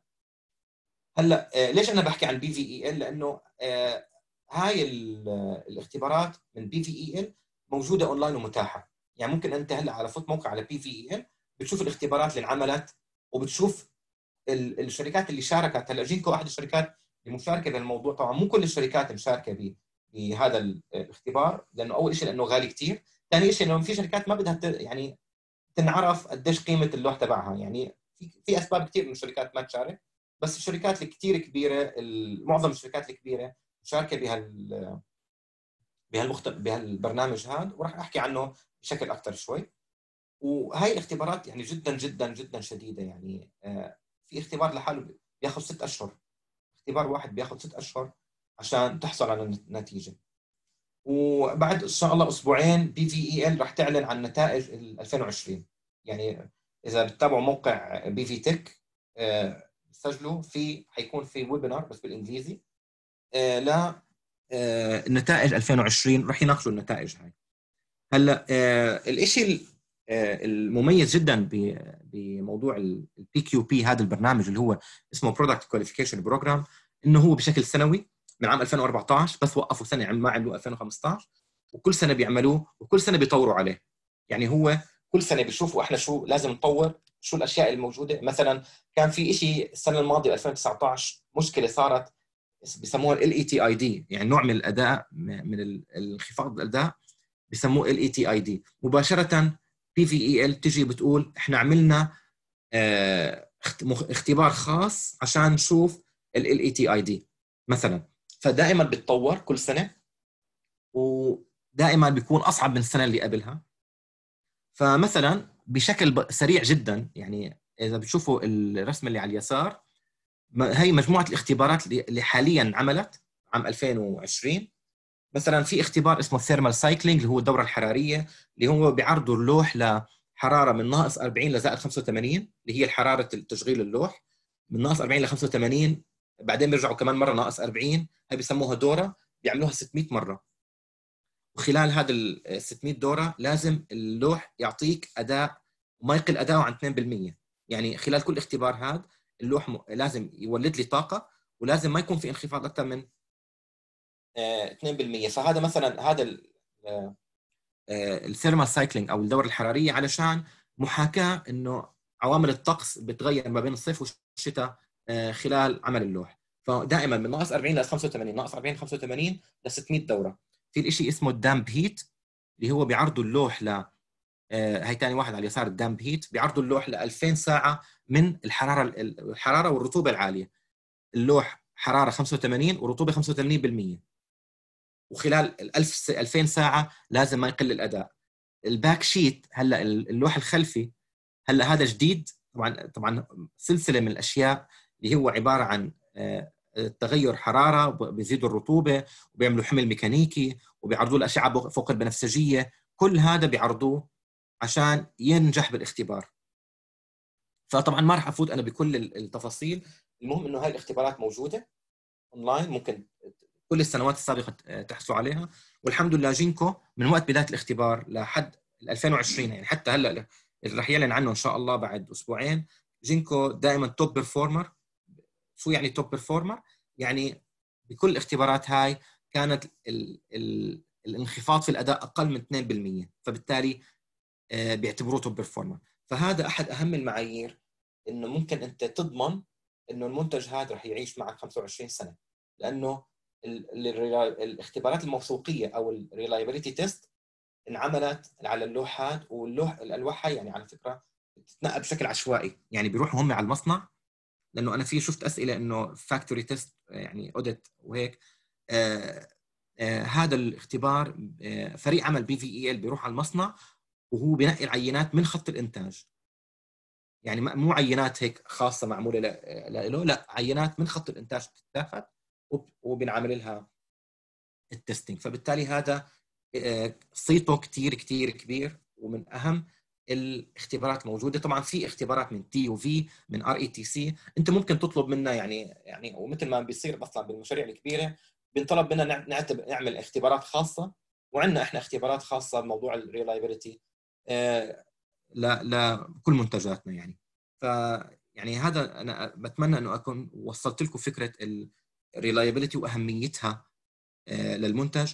ال reliability ما لها علاقة بالفولت ما لها علاقة بالأمبير ما لها علاقة بال efficiency قد يكون أنت عندك لوح ال efficiency أو الكفاءة تبعته أقل بس more more reliable يعني أنت ممكن تجيب هلأ لوح من شركة تجارية تلاقي إنه والله هذا معطيني أداء 20% بينما أنت تاخذ لوح ثاني من شركة موثوقة باداء 19% بس reliable يعني تضمن إنه هذا اللوح راح يعيش معك 25 سنة. فأتمنى انه نكون وصلت الفكرة هاي. على السريع بشكل بسيط يعني دقيقتين.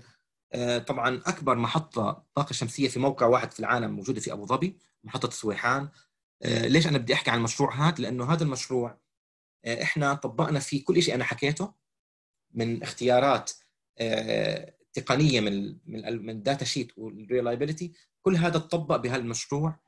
مشروع هذا 1.17 جيجا. 8 كيلومتر مربع المساحة.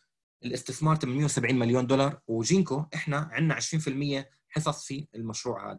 فيعني إحنا لما استثمرنا لما إحنا حطينا فلوسنا حطينا فلوسنا بالمنتج تبعنا اللي إحنا واثقين إنه هذا المنتج رح يعيش 25 سنة. وكان وقتها موضوع البيرك كانت تقنية البيرك تقنية جديدة. كان قدرة الألواح وقتها أكثر شيء 365 طبعا إحنا هلأ عم نحكي عن 465 وحتى إمبارح جينكو أول امبارح جينكو قدمت لوح 580 واط يعني. فطبعا بس خلال وقتها كان من أعلى القدرات الموجودة. والسنة الماضية تم توصيل اللوح والحمد لله ما في أي مشاكل. راح أشغل هيك فيديو تعريفي سريع بالمشروع هذا.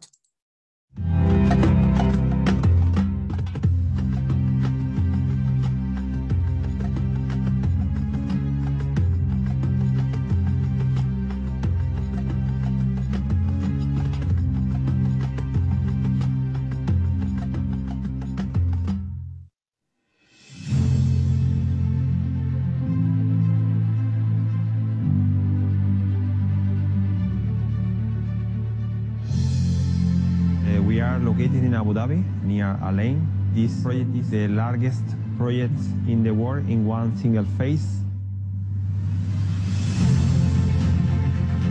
101,077 megawatts direct current. That means 936 approximately megawatt AC. We are using more than 3.2 million panels from Jinko Solar, using 804 inverters from the in European manufacturing. We have deployed the mono-PERC technology, which was a quite advanced technology back in 2016. The Noor Abu Dhabi was one of the first projects that have utilized the mono-PERC technology. The mono-PERC technology have very much in uh, optimizing the LCOE by reducing the capex as well as enhancing the annual energy and yield generated from the power plant. The BPV project has a lot of economical and environmental benefits. In terms of the economical benefits, it will help in reduce the amount of expensive gas that we are burning every day in order to meet the electricity demand for the country. And in terms of the environmental impact, it's going to meet the renewable targets of the government and as well as it will create the knowledge transfer from the foreign to the UAE nationals and create jobs for them.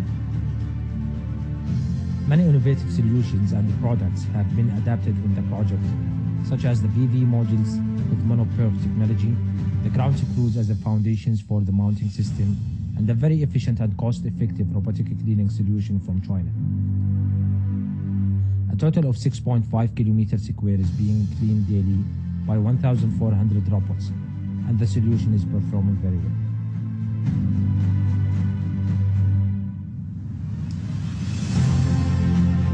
Total of 1,177 megawatt have been installed and currently operational on the site, with a total project cost of around $877 million, making it the largest PV power plant operational to date with the lowest cost of electricity at 2.4 cents per kilowatt hour. We break the record of the number of modules installation. Uh, we have installed 200 megawatt in one month and we break the record of 26,000 modules per day. It's a world record that we finished the construction uh, of a PV plant within 12 months. We're very proud of developing, building, and operating the first giga-scale PV plant in the world and the largest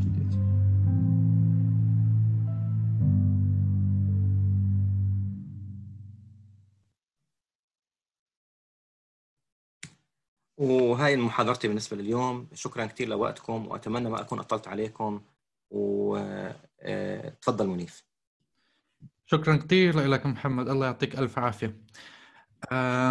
أعزائنا الحضور شكرا جزيلا لحضوركم. ننتقل الآن إلى مرحلة الإجابة عن أسئلتكم. أتمنى أن تكونوا قد استفدتم من هذا الجزء الثاني من الندوة اليوم. أشكر المهندس محمد مرة ثانية على هذا الأداء الرائع والشرح المميز التفاصيل التقنية في اختيار آه، الألواح الشمسية بالذات موضوع reliability وهو موضوع آه، غير واضح آه، بشكل عام. تلقينا حوالي 100 سؤال على الكيو إن اي أجبنا تقريبا نصف هذه الأسئلة عبر الشات وسوف نقوم بالإجابة لحوالي 40 سؤال إذا أسعفنا الوقت خلال الربع ساعة القادمة حيث أن هنالك تقاطع كبير ما بين هذه الأسئلة في طبيعة الحال.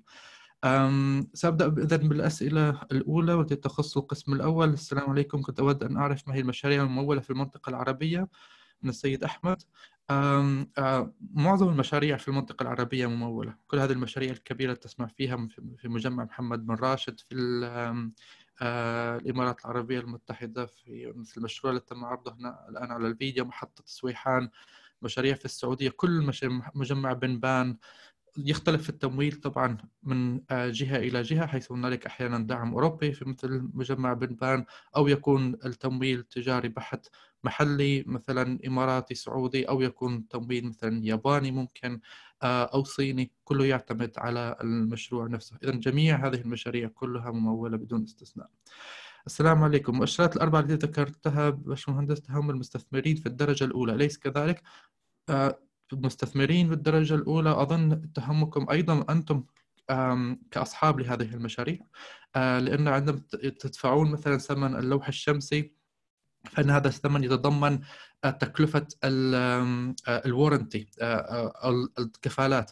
كفالة المنتج 10 سنوات مثلا أو كفالة الإنتاج لمدة 25 سنة.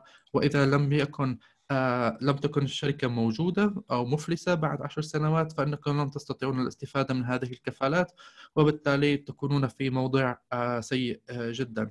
وهذا ما يجب على الجميع تفاديه إن كنتم في موقع المستثمر أو في موقع المالك للمحطة أو المشغل لها. على الجميع الاهتمام بالنسبة للموضوع المؤشرات الاقتصادية من أجل تخفيف احتمال إفلاس آه، الشركة في المستقبل. آه، طبعا موضوع ثاني سؤال مهم. لماذا بما أن هذه المؤشرات لا تهتم بمواضيع الجودة والإنتاج؟ لماذا إذا الاهتمام بها؟ طبعا هذا الذي أجبت على هذا منذ قليل. سؤال المهندس منيف. لا تعتقد أن الضمان بيكون مهم جدا في عملية الاختيار؟ طبعا الضمان هنالك شركات تقدم ضمانات خرافية 30 سنة في ضمانات في إنتاج ولكنها لربما لن تبقى لأكثر من ثلاث سنوات. إذا الضمان من جهة مهم ولكن أن علينا أن نعرف أيضا آه، أهلية الشركة لتقدم الضمانات لتقديم هذه الضمانات. هل نستطيع أن نثق بهذه الشركة؟ أو هل تقدم مثلا تأمينات أخرى من بنوك مثلا لضماناتها؟ آه، توضيح مصطلح ال bankability بشكل أدق. إذا كما قلنا مصطلح ال bankability هو قابلية منتج معين للحصول على التمويل يعني بنك معين أو مؤسس أو أي ممول.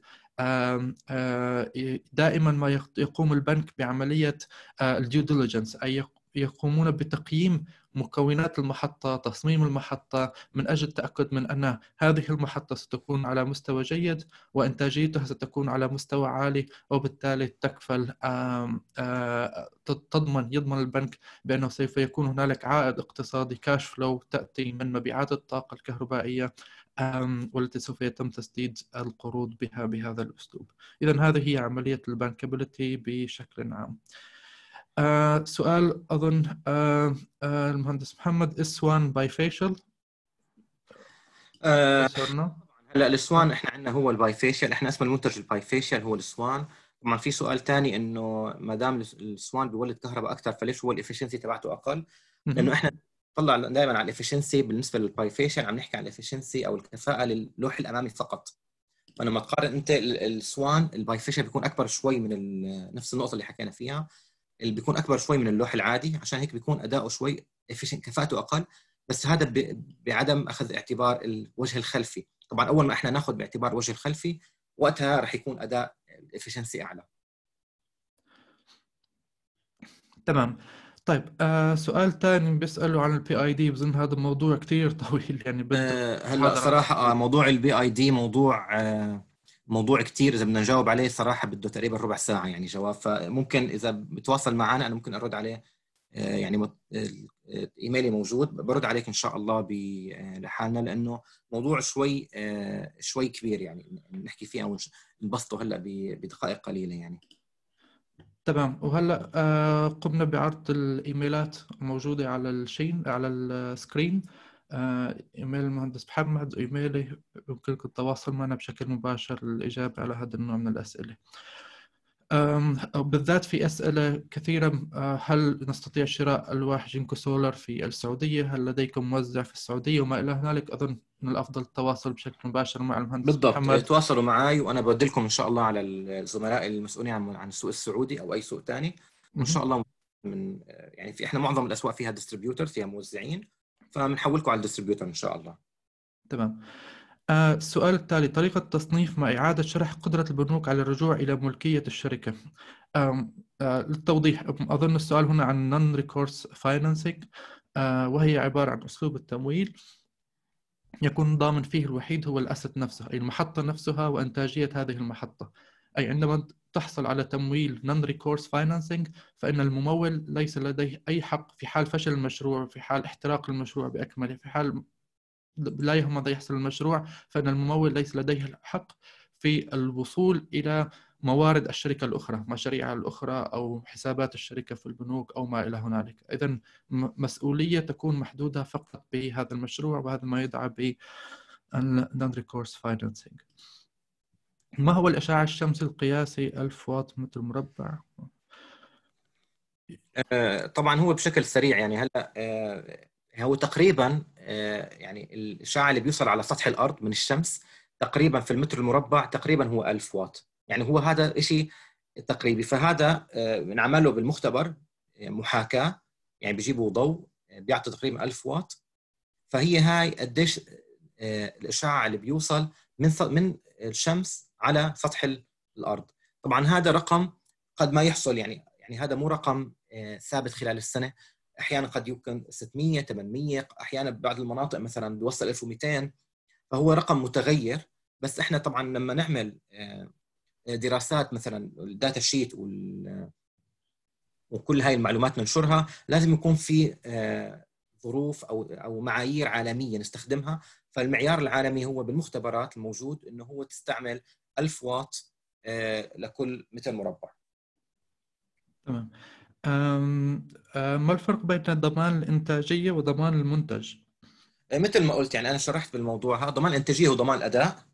ضمان المنتج اللي حكينا عنه عم بال- بال slide بالموضوع هذا. يعني هو ضمان الانتاجيه هو ال- الأداء. وضمان المنتج هو ضمان إذا في عيوب صارت بالمنتج لها علاقة بسوء التصنيع. تمام. طيب أم، هل زيادة مساحة اللوح ممكن يزيد من مشكلة ال micro cracks؟ آه، قد آه، سؤال مهم. قد آه، زيادة أبعاد اللوح قد يؤدي إلى آه، نسبة أكثر ال micro cracks خاصة إذا كان الزجاج وال frame ما مو بالقوة الكافية. تمام. بالنسبة لأنه شرك ما هي شروط شركة جينكو سولار لكي تعتمد موزع حصري مهندس يحيى آه. بظن تواصل بالإيميل أفضل ما هيك؟ بتواصل بالضبط نتواصل لأنه صراحة أنا يعني أنا آه، غير مخول إنه أحكي كثير بالجانب التجاري في عندي زملاء موجودين بغطوا المنطقة العربية كامل المنطقة كلها فهم الاقدر إنه آه، يعطوك الشروط ويبحثوا معك آه، إذا في فرص لهالموضوع تمام. في عدة أسئلة عن موضوع السماحية إنه ليش كيف يتم الوصول إلى سماحية إيجابية؟ طبعا هلأ هلأ بشكل مختصر طبعا هلأ مثل ما قلت ما في شيء اسمه سماحية سلبية هلأ في السوق من الشركات الكبيرة لما أنا بقول لك مثلا زائد 3% أو زائد 5 واط وفقط زائد ما في ناقص. هلأ هو السماحية كيف بتكون؟ إحنا بنصنع اللوح مثلا لوح 400 واط هلأ إحنا بنقيس بعد ما نعمل عملية التصنيع بنقيس قديش اللوح القدرة تبعته. هلأ صارت مثلا القدره 405 فإنه بنعتبر إنه هذا اللوح 400 فبالتالي ال 5 واط هي السماحية. مثلا إذا 407 كمان بنعتبر إحنا إنه هذا اللوح 400 بنبيعه كاساس 400 لأنه مثل ما إحنا بنعرف ال... أنت بتشتري اللوح بال... أنت تدفع حق ال... الواط. أنت كل ما كان الواط أكثر كل ما كان كل ما تدفع أكثر فإحنا ما بنعتبر هذا اللوح مثلا إذا 407 واط ما بنعتبره 407 إحنا بنعتبره 400 وبنبيعه على أساس 400 فبالتالي أنت عمليا أخذت 7 واط زيادة. فهي هاي السماحية يعني هيك بنحدد. بعد ما نعمل التصنيع بنشوف شو مجال القدره ال- الباور القدرة اللي حصلنا عليها وقتها بنصنف الألواح على هالأساس. تمام. آه، في سؤال من السيد مروان ضمرين. آه، ما هي المواد العازلة المستخدمة في ألواح ال bifacial اللي EVA ومدى تأثيرها على ال PID هلا آه، آه، المواد ال- هلا بدي أقول عن طبقة التغليف. هلا الاي في مستخدمة بشكل أقل. هلا بال bifacial أكثر شيء بيستعملوا طبقة اسمها ال POE البولي اوليفين فهي هاي الطبقة الأكثر موجودة بال آه، بال bifacial وأكيد كونه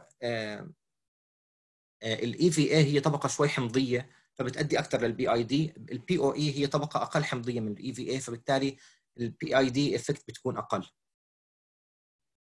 أها تمام. أم أه سؤال ما هي العلاقة بين معامل الحرارة ونسبة الانخفاض بسبب الحرارة؟ وفي أشخاص كان سألوا كمان شو هي الحرارة المثالية ليعمل فيها اللوح؟ هلأ آه، طبعا بشكل بسيط حرارة اللوح كل ما انخفضت كل ما كان أحسن.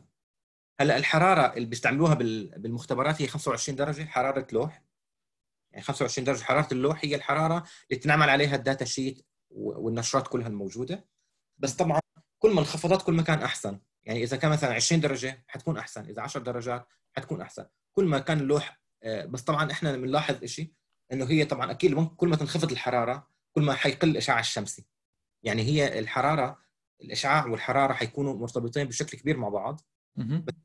إذا بنحكي مثلا إحنا على مثل بلد مثل الإمارات بالإمارات الاشعاع الشمسي كثير عالي بالصيف وبالشتاء فاللوح أنا عندي باللوح الشمسي في الإمارات بيعطيني أداء بالشتاء أحسن من الصيف لأنه بالشتاء بتكون الحرارة 25 درجة فبالتالي حرارة منخفضة بيكون أداء كثير منيح بينما بالشتاء بالصيف بيكون 45 درجة مثلا فالأداء بيكون أقل. فاللوح الشمسي عندي بالإمارات مثلا كونه الشتاء آه، يعني ما في شتاء وهو يعني عبارة عن ربيع فبيعطيني اللوح حرارة أحسن. فهي كل ما انخفضت حرارة اللوح كل ما كان أحسن للأداء. تمام. آه طيب رجعنا شوي لموضوع السماحية. آه عم نعم. في سؤال من المهندس جهاد أديب. آه، بيقول فيه بأنه كل ما زادت السماحية ممكن يكون هذا الشيء مؤشر سيء لأنه دليل على عدم ضبط خطوط الإنتاج بنسبة عالية بالإضافة لأنه وجود سماحية عالية يسبب ضياعات عدم التوافق مس ماتش لوسز هي عبارة عن كليم هو سامعها طيب. آه عم يسألنا شو رأينا فيها. نعم طبعا هو هذا معلش آه، مش كثير دقيق الحكي لأنه إحنا بنتحكم يعني إحنا آخر شيء بعد ما نخلص وبعد ما نقيس المنتجات إحنا بنتحكم إنه هذا المنتج شو هو ال power تبعته. مثل ما قلت إذا منتج هلأ 409 واط أنا بحدد إنه هذا 400 واط. فبالتالي آه، أنا بحدد السماحية. موضوع مو ما لها علاقة بموضوع آه، الإنتاج أو دقة الإنتاج. لها علاقة شو المنتج النهائي اللي بحصل عليه أنا. فأنا ممكن أنا مثلا لو عندي 409 واط أنا كجينكو بعتبره إنه هذا 400 واط بينما ممكن شركة ثانية تعتبره هذا 405 واط. لأنه ضمن السماحية من صفر لخمسه فهو هذا ما له علاقة بموضوع دقة آه، عملية الإنتاج. هلأ بس هي النقطة الثانية اللي ذكرها هي نقطة مهمة. إنه لو في سماحية عالية جدا ما بين الألواح حيكون في مس ماتش طبعا هذا صحيح. علشان هيك إحنا لما عادة نورد عادة من من ضمن حدود يعني مثلا الفرق ما بيكون أكثر من 5 واط. يعني أنا آه، أو ضمن ضمن نفس مثلا الشحنة. يعني أنا لما أجي أشحن لك أنا بدي أعطيك أربع ألواح. ما بعطيك لوح مثلا 401 وجنبه لوح 410 لا. الألواح اللي ضمن ضمن نفس الشحنة بيكون الفرق بالواط بينهم بيكون كثير قليل 2 أو 3 واط بس بيكون الفرق. فهي هاي نقطة آه، مهمة صح؟ تمام.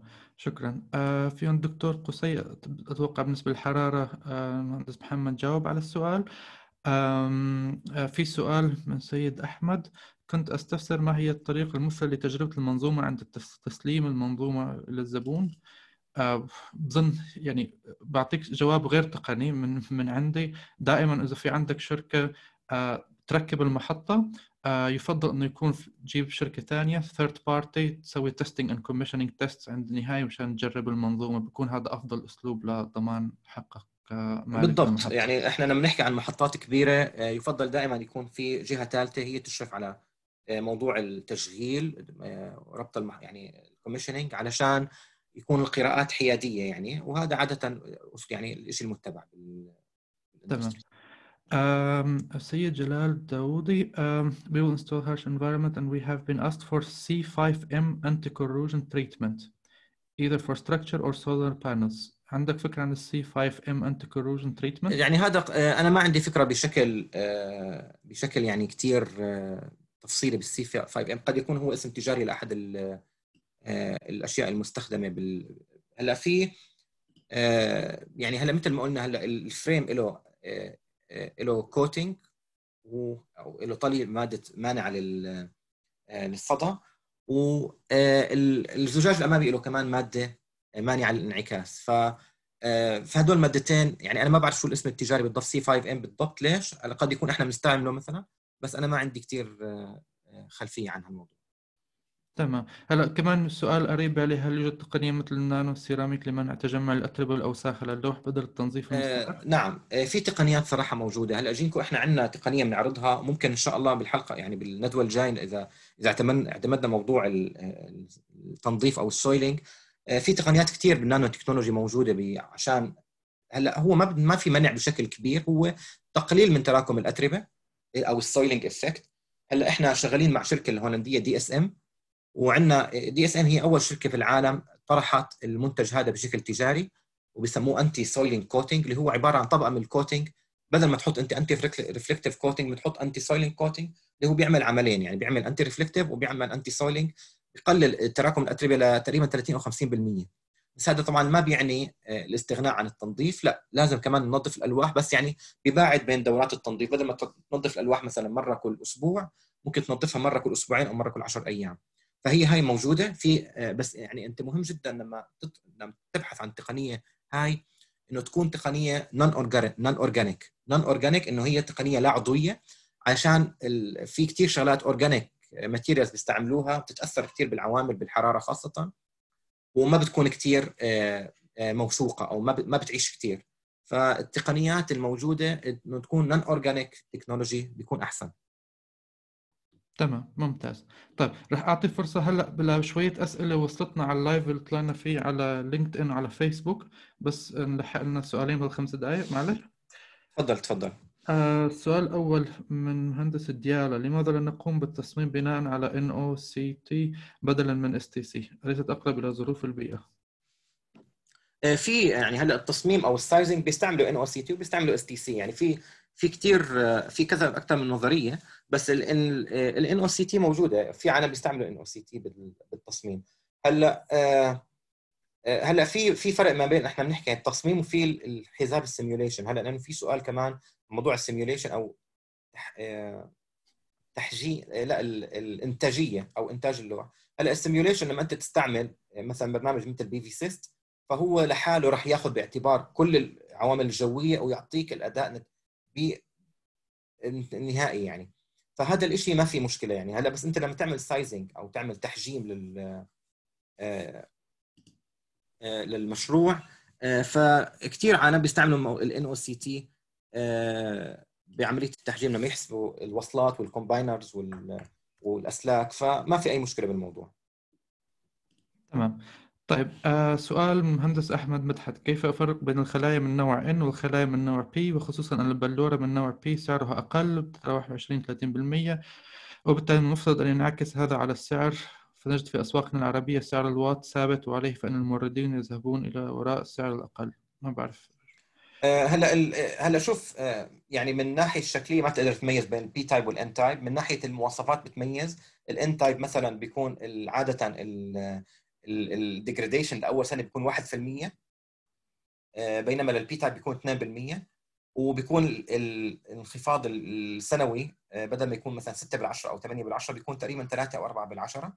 وعادة يعني بال عادة بال يعني بال data sheet نفسها بيكون محطوط إنه N-type يعني عادة موجود هالموضوع إنه N-type ومثل ما قلت أنت إنه السعر كمان بيكون غالي يعني السعر مثل ما يعني بالضبط مثل ما ما قال المهندس إنه 30% تقريبا زيادة عن ال P-type فبالتالي آه، يعرف يعني. هلأ في شركات معينة موجودة في السوق تعمل بس N-type وفي شركات مثل جينكو بتعمل P-type و N-type هلأ إحنا إنتاجنا 90% منه هو P-type و10% فقط هو N-type تمام.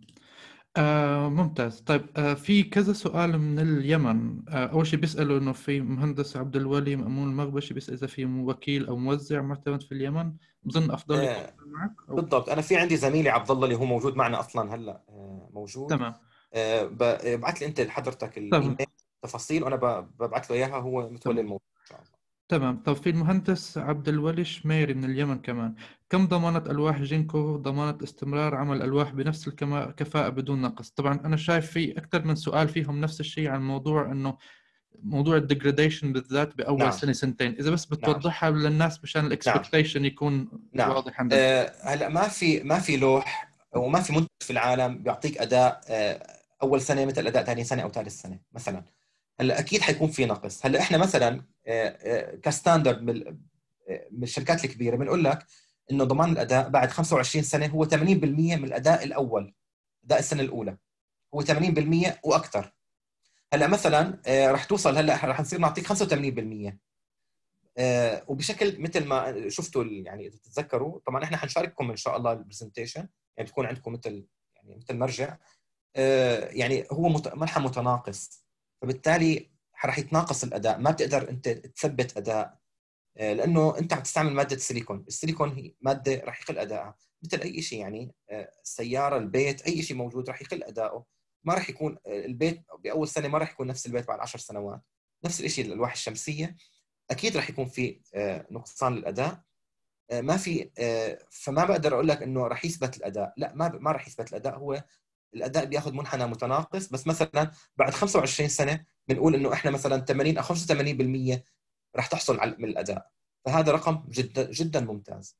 إحنا عم تحكي عن 25 سنة مش عم نحكي عن ثلاث سنوات أو خمس سنوات عم نحكي عن فترة طويلة جدا وانخفاض الأداء يعني أقل من 20% خلال 25 سنة اللي هو يعتبر يعني رقم ممتاز جدا برأيي أنا طبعا. تمام ممتاز. آه شكرا كثير لك مهندس محمد. آه الله يعطيك ألف عافية. الله يسلمك. هيك بالضبط إحنا صرنا مجاوبين على 100 سؤال. وأنا صراحة شايف إنه كثير في أسئلة وأنا صراحة شاكر لكم وشاكر للتفاعل اللي صاير. يعني إحنا عدد الناس ما شاء الله كثير وعدد الأسئلة كثير كثير فأنا بعتذر إذا ما كان في وقت هلأ نجاوب. هلأ هي المده 45 دقيقة فوق الموعد تبعها يعني الندوة. فأنا بعتذر عن إذا في أسئلة ما جاوبنا عليها. رجاء هي إيميلي موجود قدامكم تواصلوا معي وإن شاء الله بنساعدكم بأي شيء في في شباب سألوا عن موضوع التوصيف وعمليات إنه كيف ممكن نساعدهم. إن شاء الله بعث لنا إيميل نتواصل مع بعض وإن شاء الله آه، راح نساعدكم إن شاء الله بالموضوع. تمام. شكرا كثير لك مهندس محمد. بظن هلأ وقت مناسب لنعلن للكل إنه خبر حلو انه إحنا اتفقنا إنه هي الموضوع يكون هي الندوة هي أول ندوة من مجموعة ندوات رح نسويها مع بعض. وإن شاء الله هنالك ندوة ثانية بموضوع جديد بعد أسبوعين. نتمنى انكم تنضموا لنا رح نتواصل مع الجميع اللي سجلوا عبر زوم آه إنه يوصلهم مباشرة دعوة للندوة اللي جاي آه بحيث الكل ممكن يشارك معنا وإن شاء الله نقدر نجاوب على اسئلتكم التالي طبعا المجال كبير حاولنا نجاوب على كثير أسئلة جاوبنا على 100 سؤال. نضل لسه شايفين أكثر من 50 سؤال ولكن الوقت لا يسعف بإنه نجاوب عليها كلياتها آه، مباشرة. شكرا كثير لكم. إيميلات ظاهرة على الشاشة ممكن تواصلوا معنا بشكل مباشر. ونلتقي فيكم بالجولة الجاية من ندواتنا. الله يعطيكم ألف عافية. وبالمناسبة للكل كل عام وأنتم بألف خير. كون رح تكون هلأ فترة العيد. ينعاد عليك مهندس محمد وينعاد عليكم جميعا ينعاد عليكم وعلى الجميع إن شاء الله. وإن شاء الله إحنا موعدنا معكم إن شاء الله بعد العيد. إيه، إذا بتتابعوا جينكو سولار وسولار أرابيكا رح إن شاء الله يتم الإعلان عن الموعد الثاني للندوة لندوة ثانية وإن شاء الله بيشرفنا حضوركم يعني فيها أكيد إن شاء الله. يعطيك العافية. يلا السلام عليكم. مع السلامة.